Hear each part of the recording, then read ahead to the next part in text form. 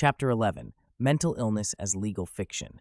We know insanity is a mysterious disease, that it may exist without physical indications, is often cunningly concealed so as almost altogether to baffle detection, even by a specialist, or may be so occult as to cause the most eminent alienists to clash as to its existence in an instance.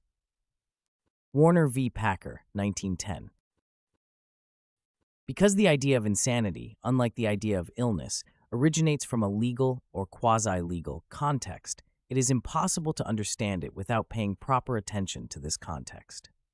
My aim in this chapter is to examine a specific legal aspect of insanity, namely, its role as a legal fiction. According to Black's Law Dictionary, 4th ed., a legal fiction is an assumption or supposition of law that something which is or may be false is true, or that a state of facts exists which has never really taken place. A rule of law which assumes as true and will not allow to be disproved something which is false but not impossible. In the American historical legal experience, the classic example of a legal fiction is the status of the Negro slave as part person or property. No less lofty a legal document than the Constitution of the United States defines enslaved blacks this way. The institution of American chattel slavery rested, as I shall discuss in a moment, on the legal fiction that slaves were not persons but personalty, that is, possessions or chattel. The idea that some individuals who seem to be adult men and women with appropriate rights and responsibilities are in law, de jure, and hence also in fact de facto, not really persons because they are insane, is, in my opinion, also a legal fiction. I would venture to say that just as the view of the Negro slave as property was the grand American racial legal fiction before the Civil War, so the view of the disturbed and disturbing person as mentally ill has been the grand American medical legal fiction since then. Indeed, the idea of insanity illustrated in the opinion in Warner v. Packer cited as the epigraph at the beginning of this chapter, is as apt an illustration of this Santa Claus function of insanity as one could wish for. A fiction is an untruth we believe to be the truth because we want to believe it. No one denies that this phenomenon exists, especially among children. No one denies that it exists among adults too, especially among those professing a religion different from ours. No one denies that it exists even among scientists especially if they support a theory whose validity one rejects. But the masses of people, especially the masses of modern intellectuals, reject the idea that their favorite facts may also be fictions. It has become too easy to see, warned Herbert J. Muller, that the luckless men of the past lived by mistaken, even absurd beliefs, so we may fail in a decent respect for them and forget that the historians of the future will point out that we too lived by myths. So the problem remains how do we recognize our own fictional beliefs? The trouble is that this question is phrased incorrectly. The person who believes that his idea, which we may think is a fiction, is true, experiences his belief as a solution, not as a problem. In that sense, there is no problem. There is only the human intellect at work, showing ourselves and each other different images of the world around and within us. And there are only different religious and political, and now also psychiatric systems, allowing us to pick the images we want and reject those we do not want. Insanity as a legal fiction. What does it mean to assert that we should try to understand a particular concept as a legal fiction? Lon L. Fuller, a distinguished legal scholar, offers this answer. To obtain an understanding of any particular legal fiction, we must first inquire what premise does it assume? With what proposition is it seeking to reconcile the decision at hand? In most cases, the answer is easily discovered. Much of what I say in this book constitutes precisely such a functional analysis of the meanings and uses of mental illness. Of course, Fuller is right when he observes that the function of a legal fiction is easily discovered. What premise does it, mental illness, assume? It assumes that the idea of illness is applicable to the mind, or whatever we mean by the mind. With what proposition is it seeking to reconcile the decision at hand, psychiatric coercions and excuses? It seeks to reconcile the decision to deprive innocent persons of liberty and to exonerate guilty persons of responsibility, with the proposition that insanity is an illness which annuls free will and responsibility, and with the claim that so treating certain persons does not violate our commitment to a political philosophy of individual freedom and responsibility under the rule of law. Legal fiction as literalized metaphor. Legal authorities, no less than psychiatric ones, insist that mental illness is a fact, and more specifically, that it is a disease like any other. Mental disease is a medical problem, Edwin Keedy. Mental illnesses are the subject matter of medical science, Carter v. U.S. We do not insist on a legal formula in diagnosing other diseases. Why in this instance? How can insanity be a fiction when so many thoughtful and educated persons consider it to be a fact? The answer is simple. Observers of the human condition, even the most brilliant ones, have time and again missed or misunderstood the fundamentally metaphoric nature of language. For example, Thomas Hobbes, 1588-1679, defined words used metaphorically as employed to deceive others. Similarly, John Locke, 1632-704, believed that the artificial and figurative application of words is for nothing else but to insinuate wrong ideas, move the passions, and thereby mislead the judgment. Such observations miss the point that language, in any of its forms, can be used equally easily and well to inform or misinform. Distinguishing truth from falsehood requires not purging our language of metaphors, but taming our passions to control and dominate others. In reality, the relationship between language and the passions is a reciprocal one, language inflaming and deforming the passions, and the passions inflaming and distorting language, both spoken and heard. Not surprisingly, the hostility exhibited by Hobbes and Locke towards metaphors reemerges in the attitudes of some philosophers and jurists towards legal fictions.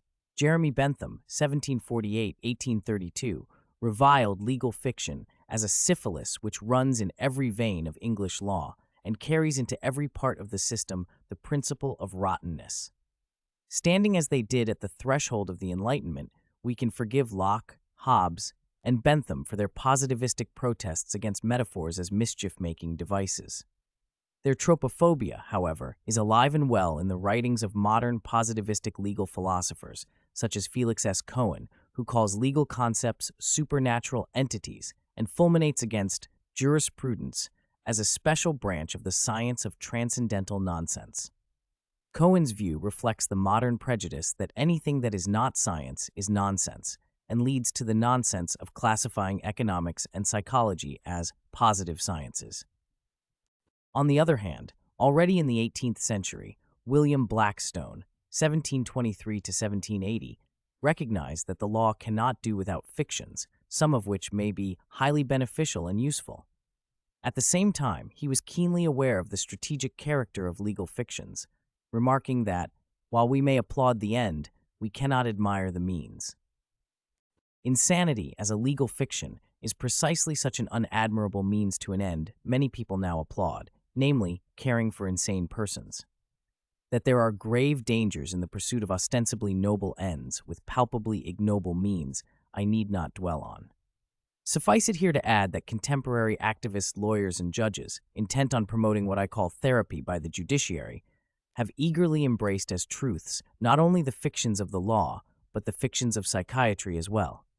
For them, expert opinions rendered in court by psychiatrists have the logical status of scientific facts and the moral force of divine commandments.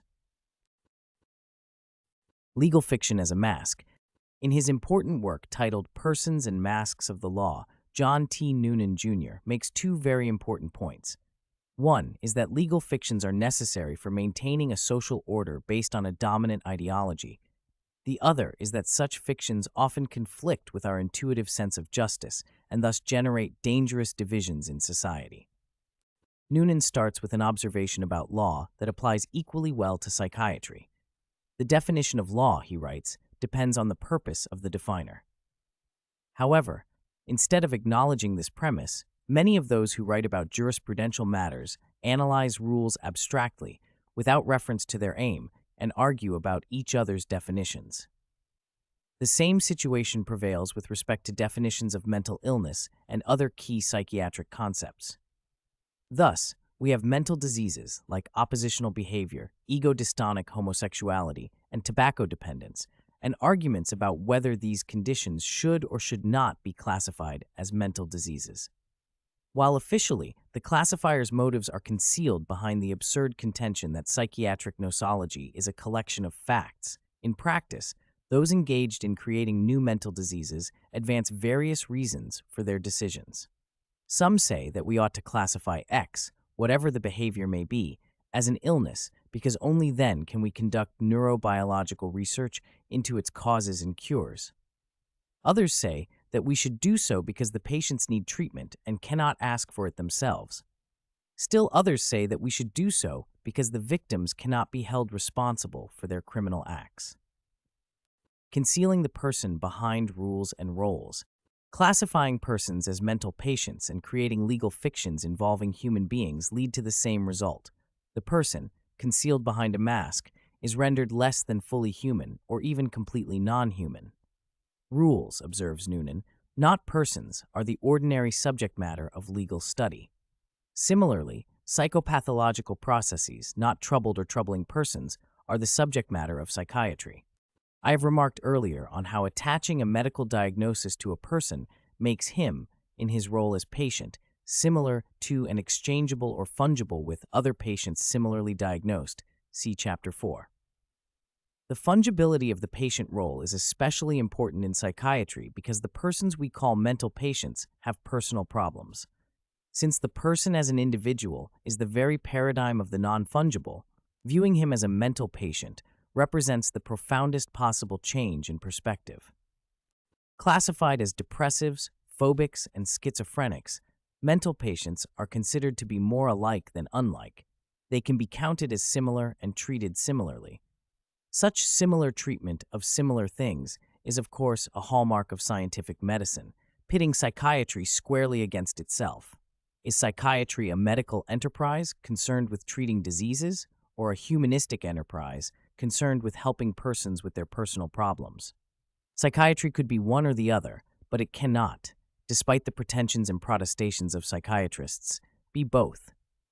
It is worth noting here that even Harry Stack Sullivan, generally regarded as one of the most humanistic modern psychiatrists, succumbed to the lure of an impersonal psychiatric science. Let me say that insofar as you are interested in your unique individuality, you are interested in the really private mode in which you live in, which I have no interest whatever. The fact is that for any scientific inquiry, in the sense that psychiatry should be, we cannot be concerned with that which is inviolably private. Evidently, it did not occur to Sullivan that if this is the price of being scientific, it might be better not to pay it than to betray the patient and forfeit being scientific, in the sense of being truthful in the bargain. The roads to chattel slavery arid psychiatric slavery. Noonan uses the American experience with slavery to illustrate how legal fictions may serve the purpose of dehumanizing persons and how lawyers and legal scholars may act as agents rather than as critical analysts of the resulting system. Indifference to persons in legal history and legal study, he writes, is dramatically illustrated by their prominent legal scholars' unconcern for a major function of Anglo American law for three centuries the creation and maintenance of a system in which human beings were regularly sold, bred, and distributed like beasts. Noonan demonstrates how legislators, lawyers, and judges suppressed the common sense perception that Negro slaves were human beings and said not a word on how the legal system made a person a non person. How could a lawyer, Noonan asks, look upon persons as kitchen utensils? How can a doctor, we might ask, look upon persons as the carriers of diseased brains or as bundles of unconscious impulses? The split between the ideals of the American Revolution and the maintenance of slavery, adds Noonan, was evident to contemporaries. The split between our ideals of individual liberty and responsibility and the maintenance of institutional psychiatry is no less evident to many people today.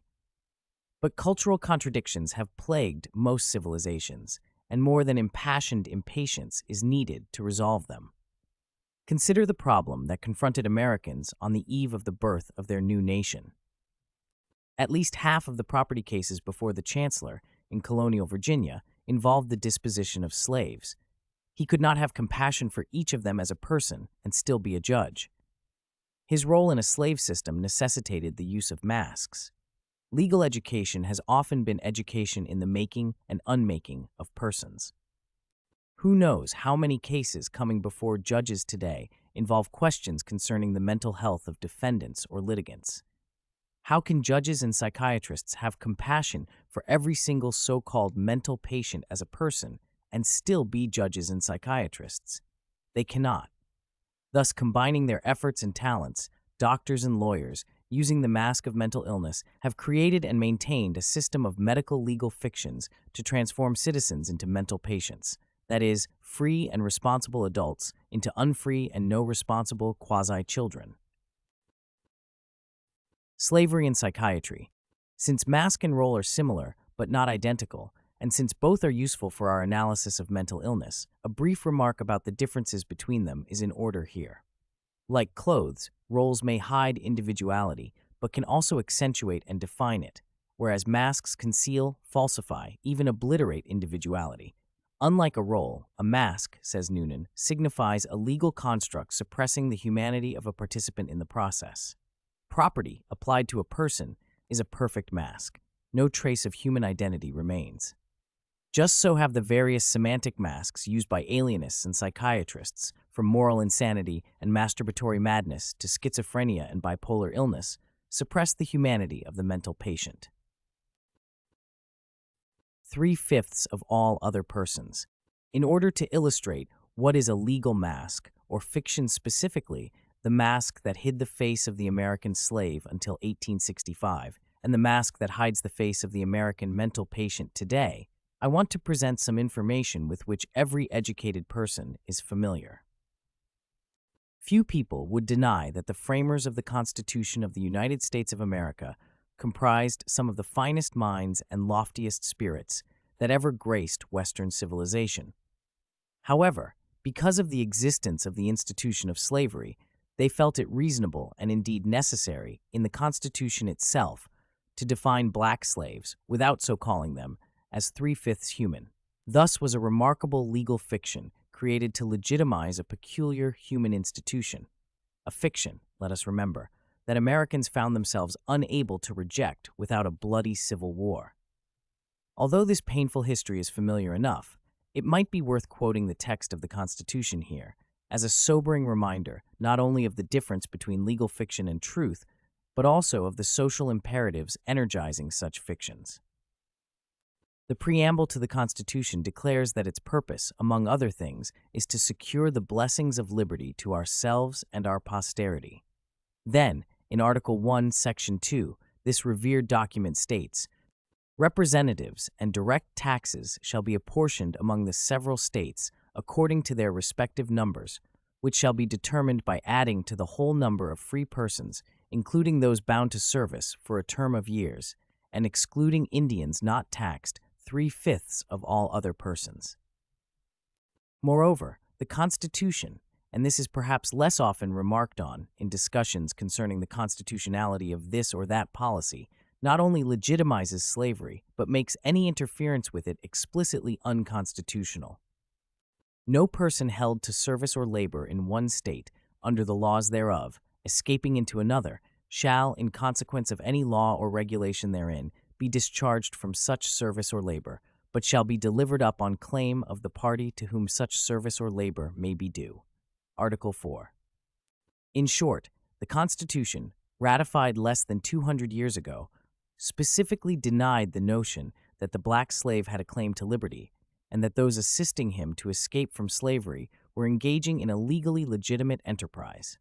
We might try to remember this when psychiatrists and lawyers righteously tell us that it would be unconstitutional to interfere with the policies of civil commitment and the insanity defense, the legal interventions by which the idea of insanity is legitimized as true and valid.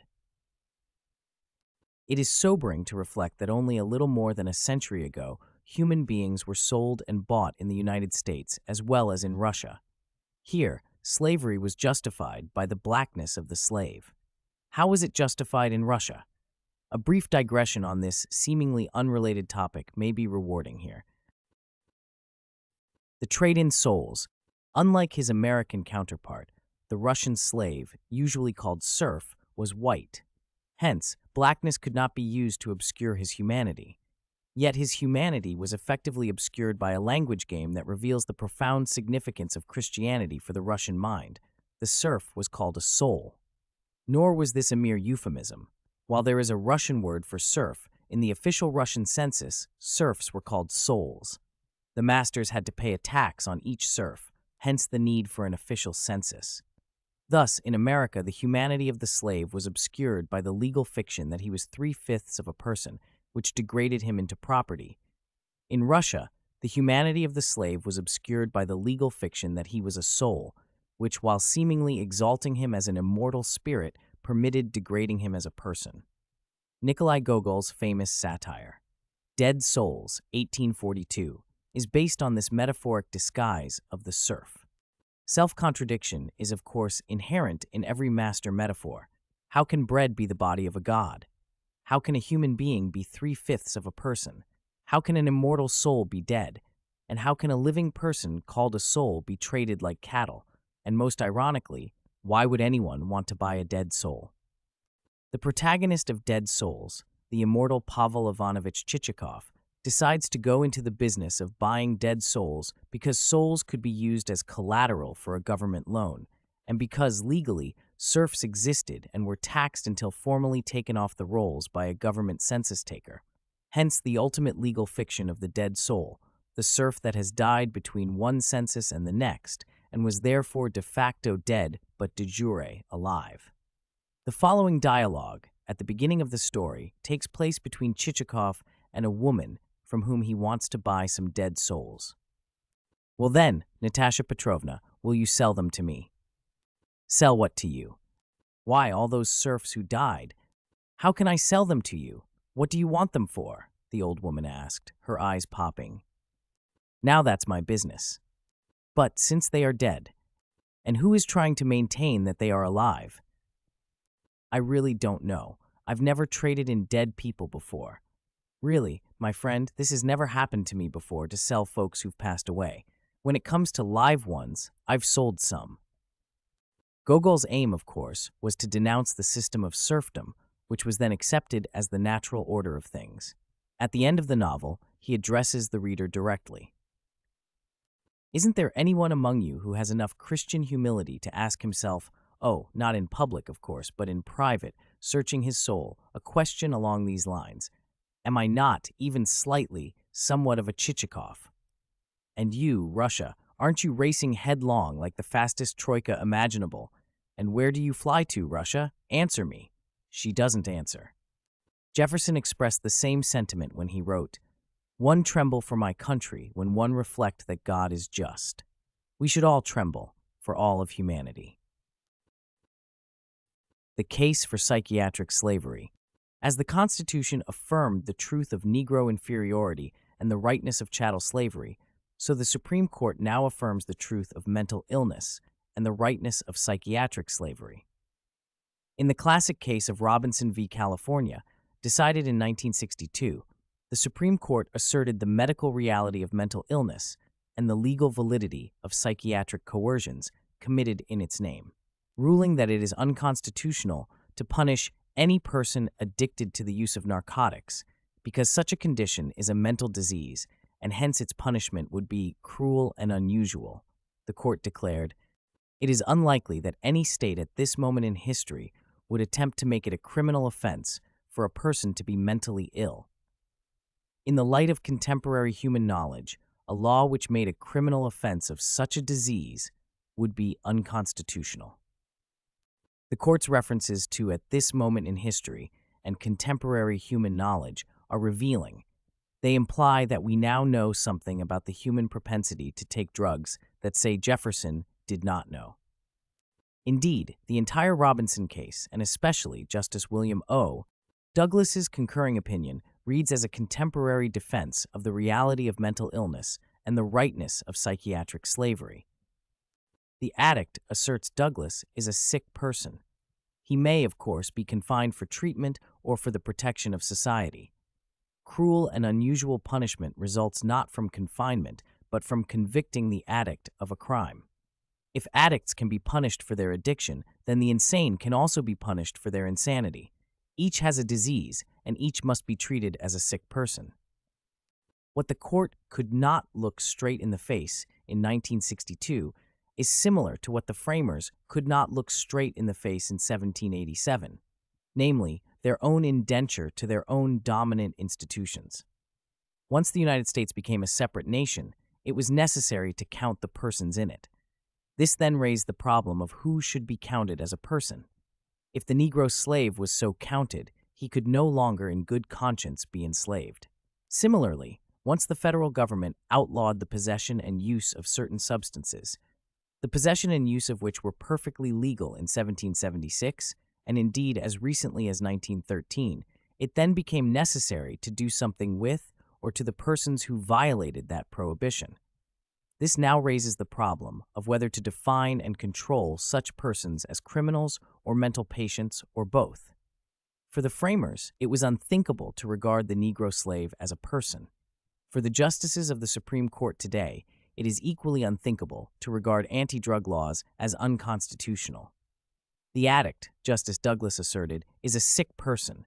He may, of course, be confined for treatment, but the addict is no more sick than the Negro is a slave. Any society can tolerate only so much freedom. As liberty is enlarged in one area, it is constricted in another.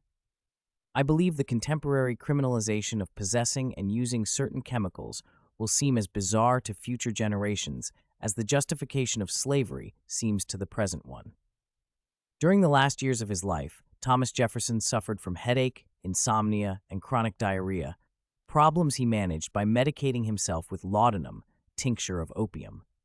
Although every American president now has the right, under certain circumstances, to launch nuclear missiles, under no circumstances does he now have the right to medicate himself with opium. The case against slavery, chattel and psychiatric, the face that man can conceal by means of legal masks, he can, of course, reveal by means of historical analysis and rational criticism. It does not diminish Noonan's achievement to observe that it is no longer difficult to do what he has done so ably, namely to reconstruct the semantic and legal processes by which the Negro slave was dehumanized. The modern mind unhesitatingly rejects the view that a black human being is property rather than person. Today, the difficult task is to criticize the contention that the madman is a person rather than an insane patient.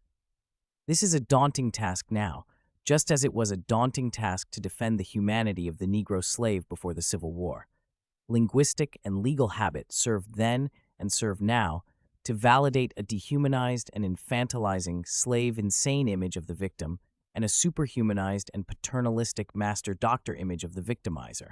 From the beginning of the slave trade in the American colonies, writes Noonan, slave and Negro were terms indicating a special legal status. Africans in Virginia, having arrived by means of purchase, were viewed as property. Similarly, since the beginning of psychiatry, with the construction of insane asylums in the 17th and 18th centuries, mad and insane became terms indicating a special legal status. Madmen in madhouses, having been transported to the asylum against their will, were viewed as non persons.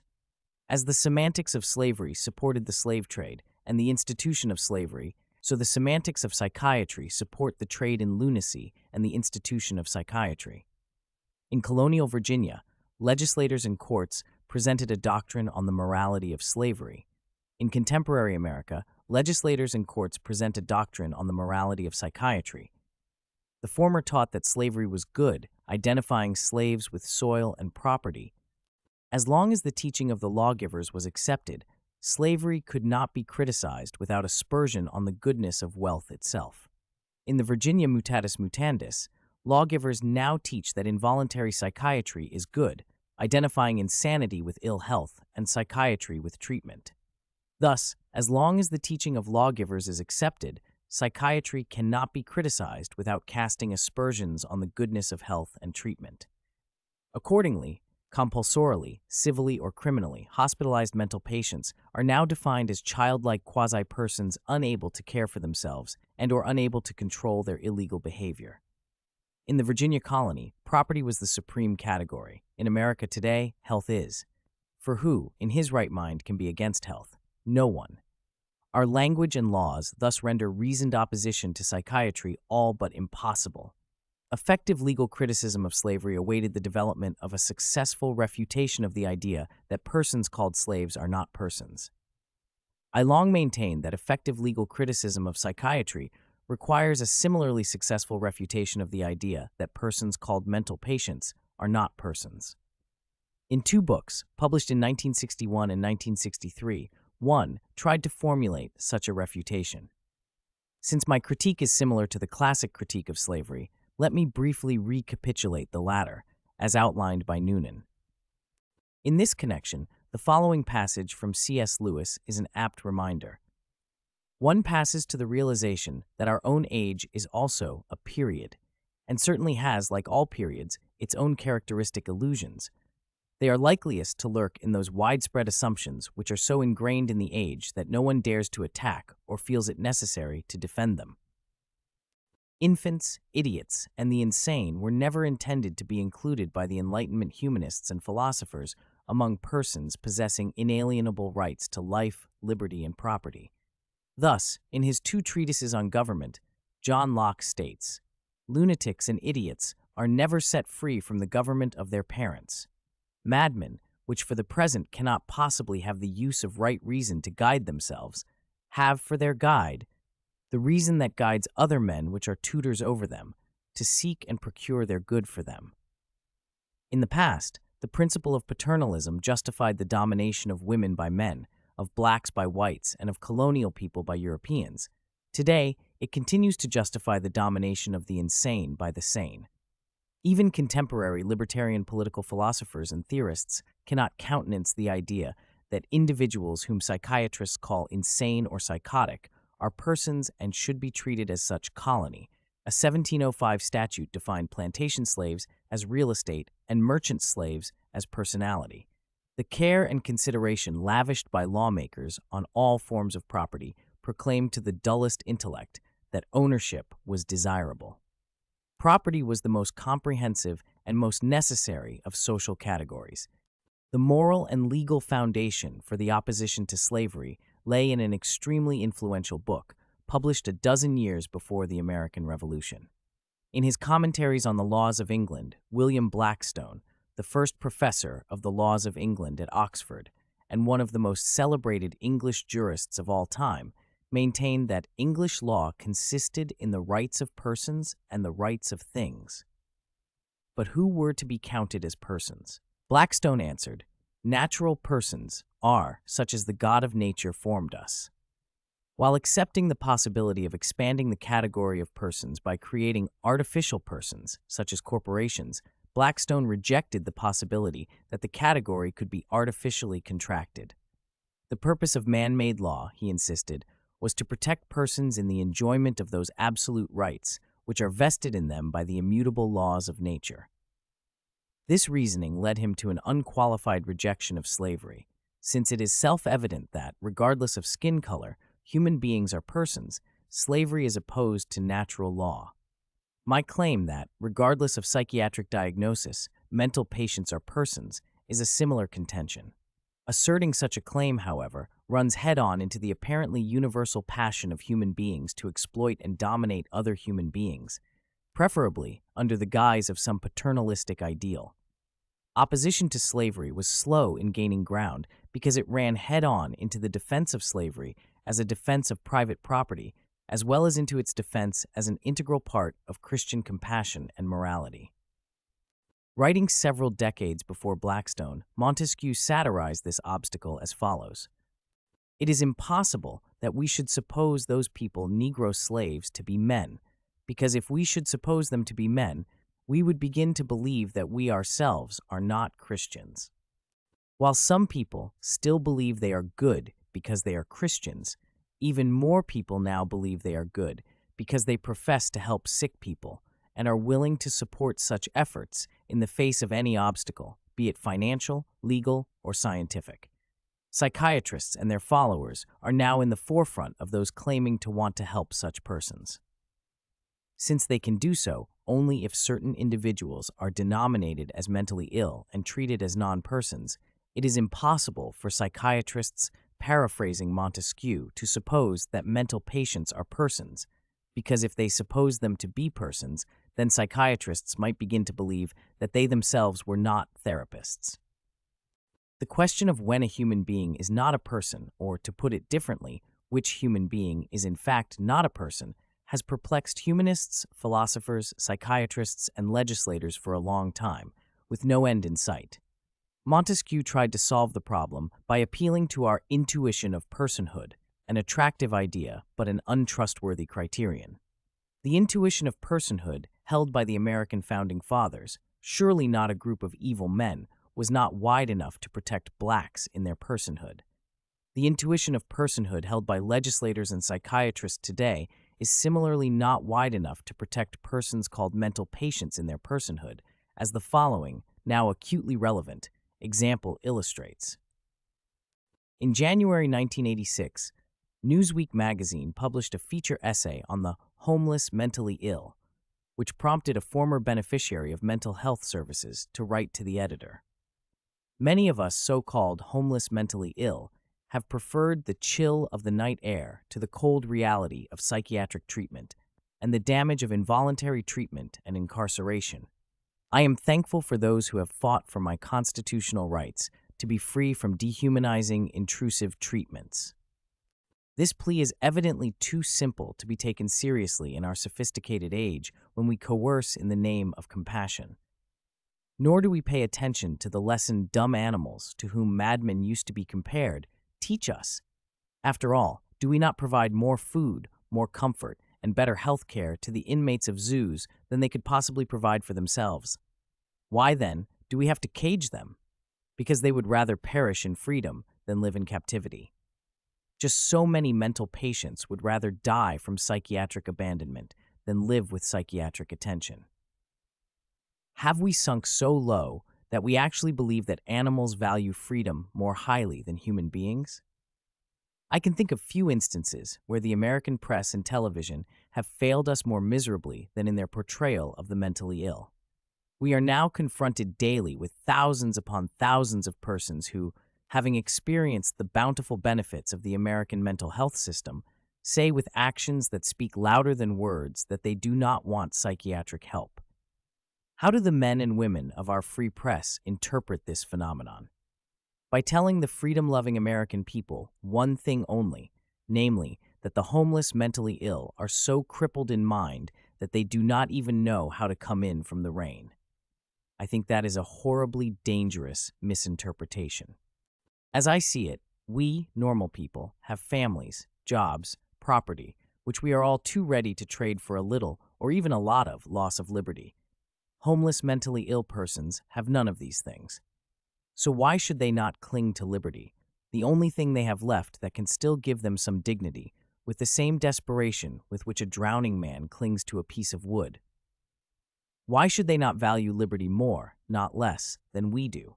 So long as we refuse to so interpret the predicament of the homeless mentally ill, we will be unable to do anything for them and will only feel tempted to escalate our violence against them. Of course, many Americans recognized that chattel slavery was not as good for the Negro as its defenders claimed it was, and many now recognize that psychiatric slavery is not as good for the mental patient as its defenders claim it is. But unable to let go of either form of domination, our founders engaged in, as do we, endless and futile efforts at reform. Noonan emphasizes the agonizing moral discomfort that slavery, a well established institution in 1776, created in the minds of the founders. We know that, and we also know that since they nevertheless wanted to recognize slavery as a legally valid institution, they tried to reform it.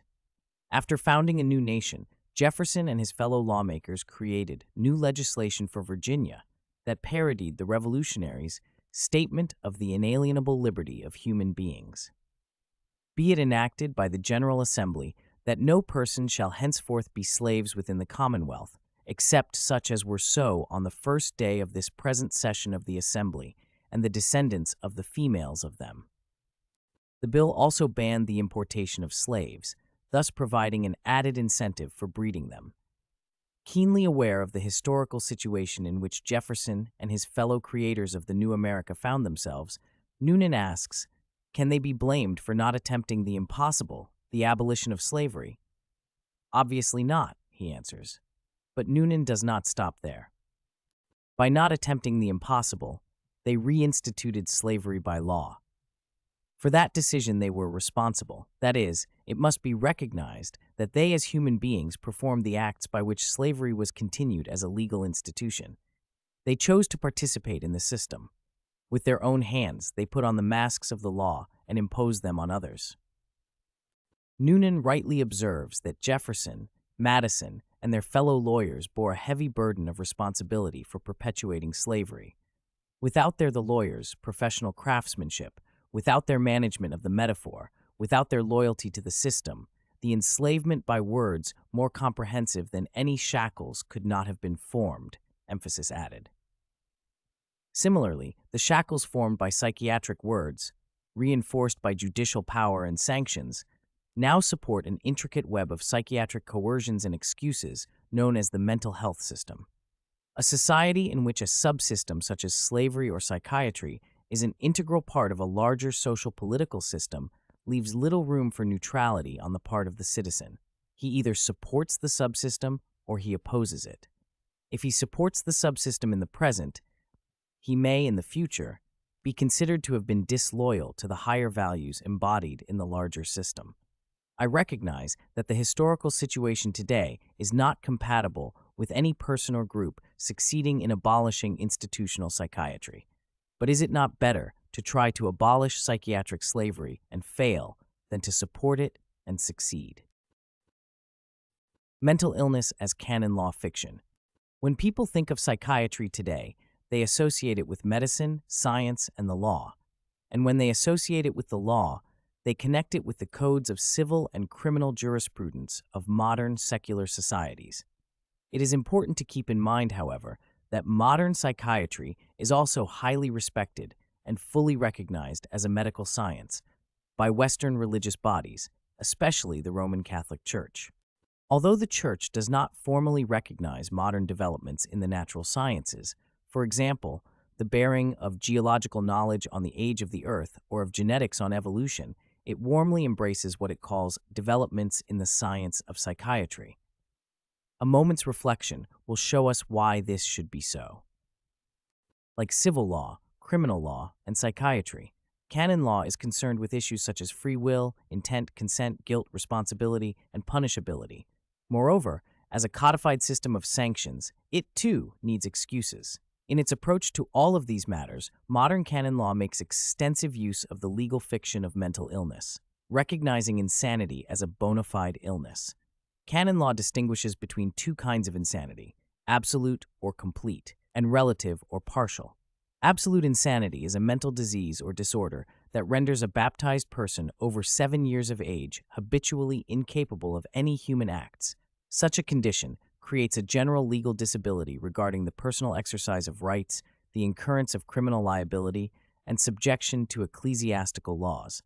A person absolutely insane assumes the legal status of an infant. Mental illness thus has a somewhat different meaning and function in canon law than in American civil or criminal law.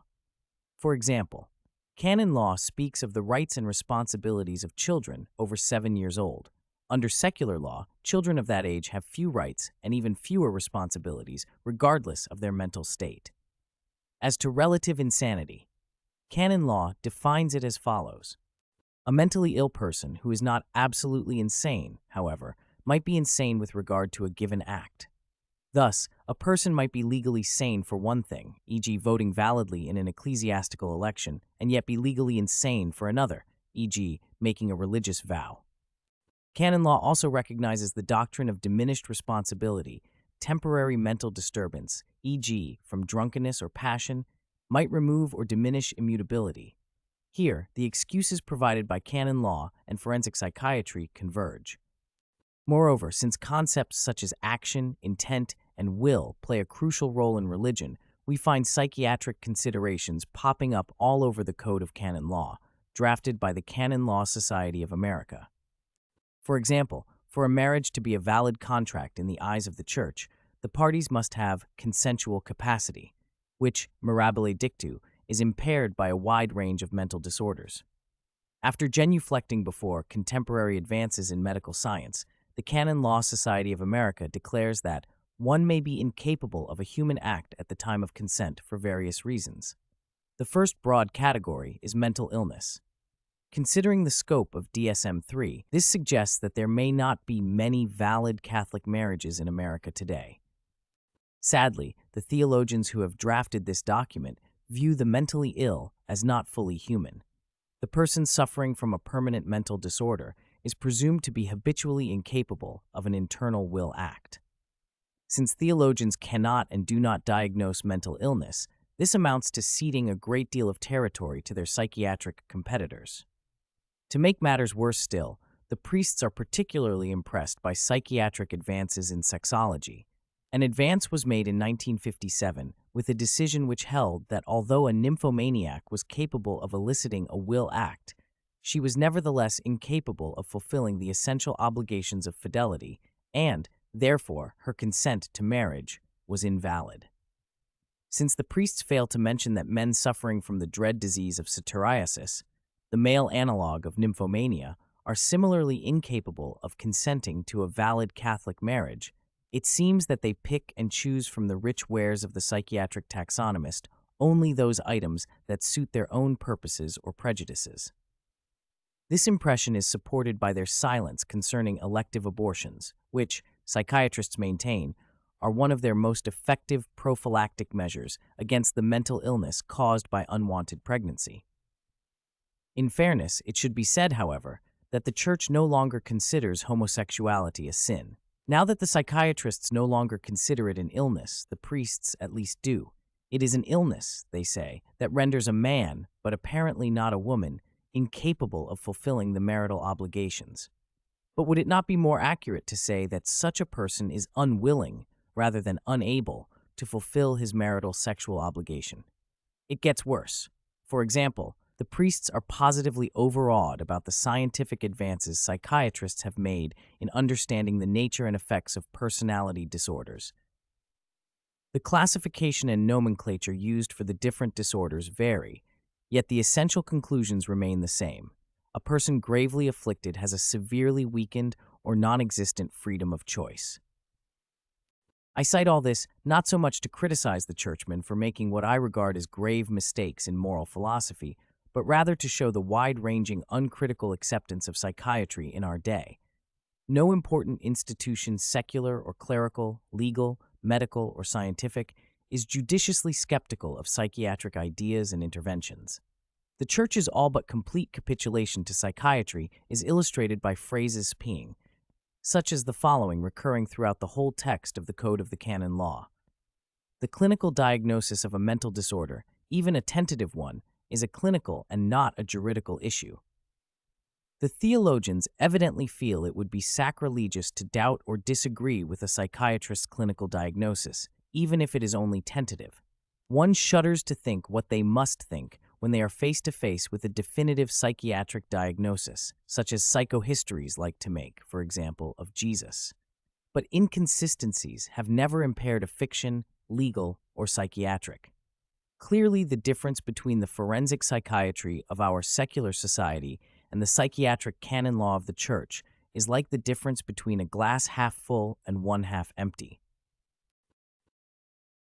Varieties of fictions religious, legal, scientific, and psychiatric.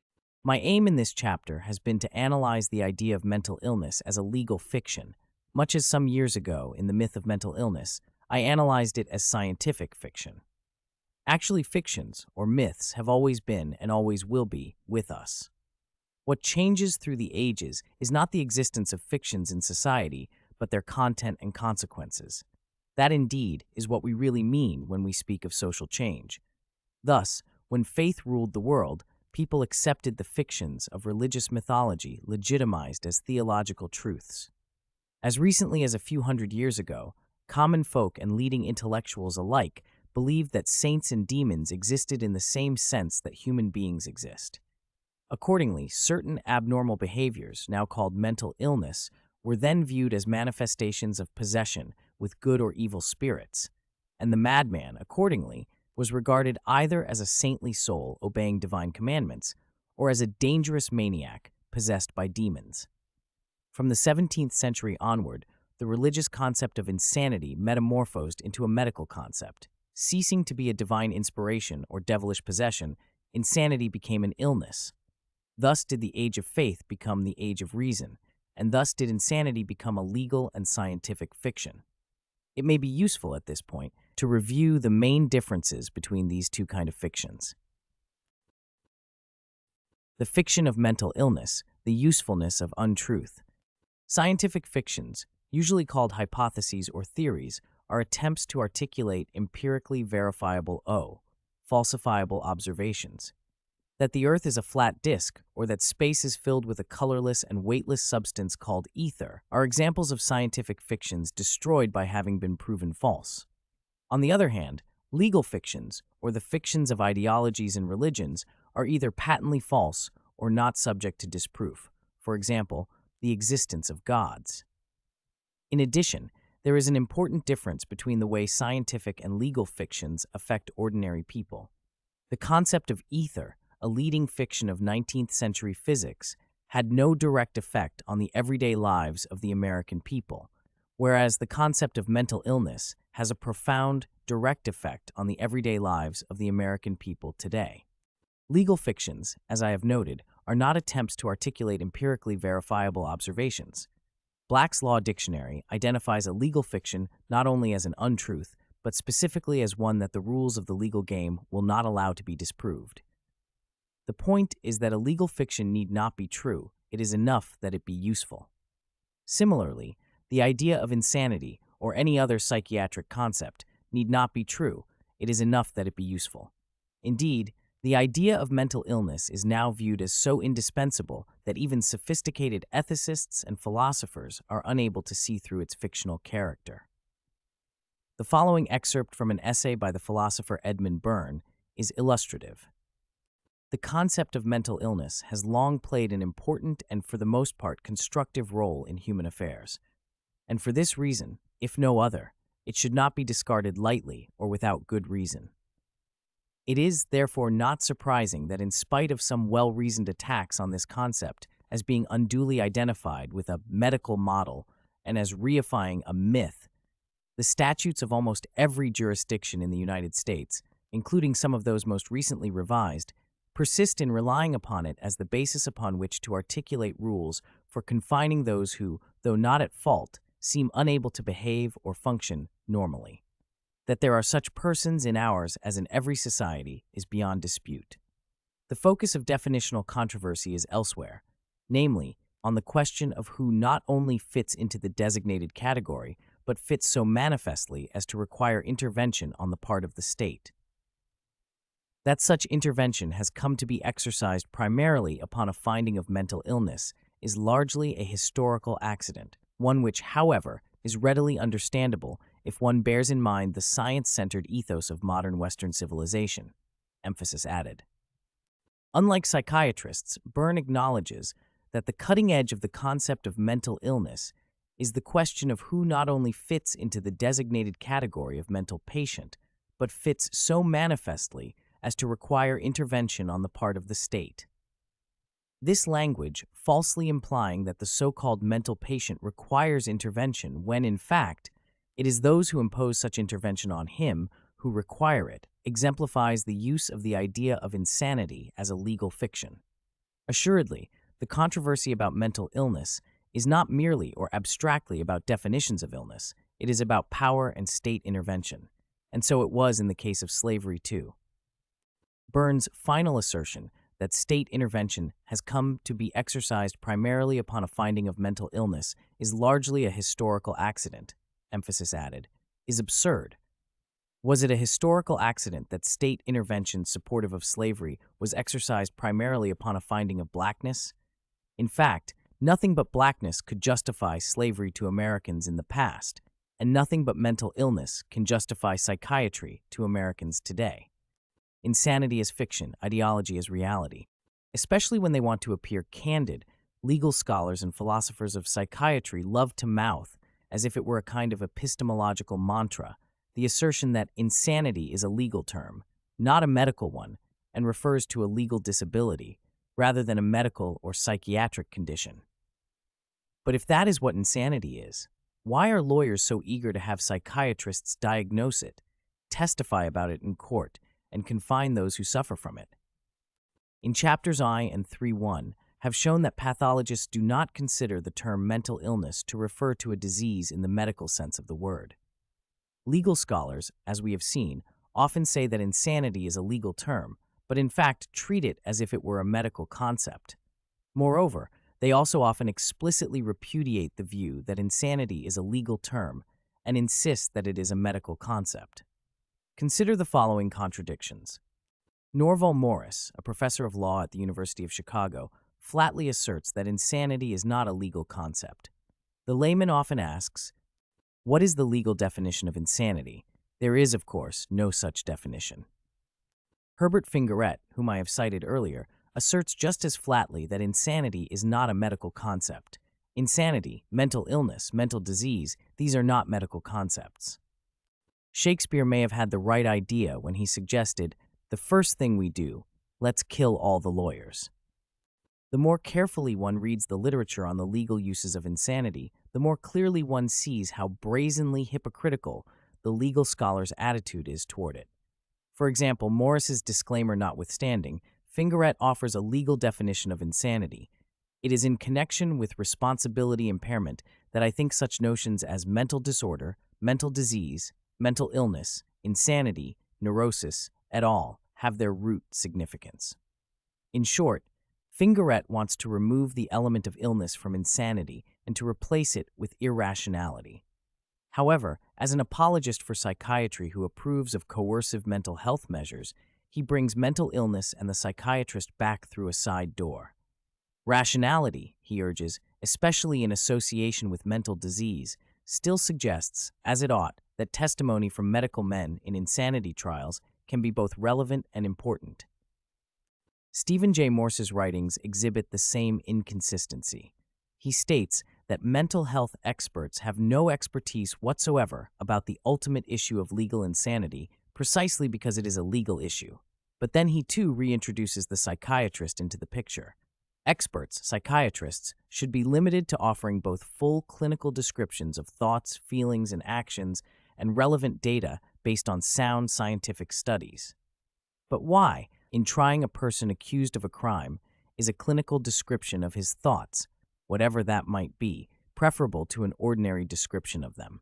It is obvious why to justify his psychiatric incarceration. We should be clear that it is unjust to punish someone who is not responsible. A fixed hospital term is also improper for the same reason. Hospital commitment should be related to continuing disorder. Thus, we come back again to the realization that involuntary mental hospitalization is the tail that wags not only the psychiatric dog, but the legal superstructure that is its master and the society they both serve. These alternating and self contradictory claims regarding insanity illustrate and support my contention that insanity is a legal fiction. To be sure, it is a legal fiction of a particular sort, one that makes use of psychiatric rather than, say, economic or political concepts and rhetoric. In this respect, too, the idea of insanity resembles the idea of slavery. Legal scholars made inconsistent claims regarding slavery, also defining the status called slave legally while ostensibly determining who qualifies for it hematologically by asking, How much Negro blood does he have?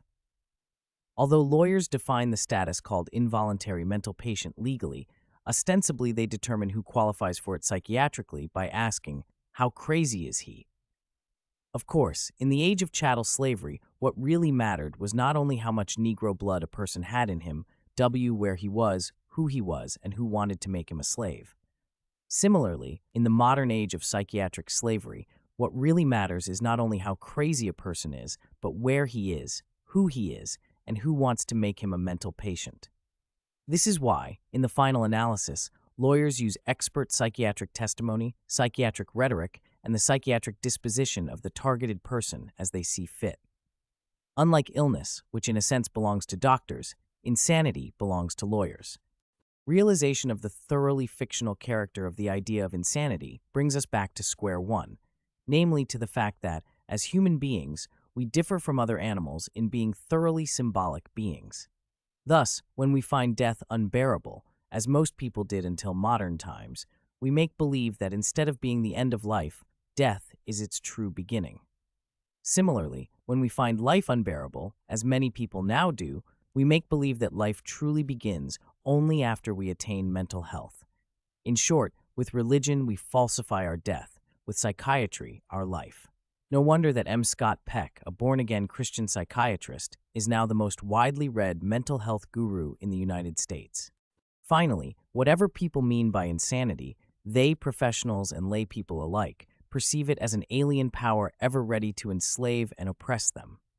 This is why I have long maintained that mental illness is an ideological idea that fuels psychiatry as an ideological theory and movement of liberation, promising to liberate the mental patient from his illness. The fact that mental illness is a fiction and that those posturing as the mental patient's liberators are the problem rather than the solution has, of course, not in the least impaired the credibility of the mental health movement. The human dread of disorder and the craving for order through dependency as a remedy for it are so powerful that they obliterate in each generation the memory of what ideological liberators have wrought throughout history.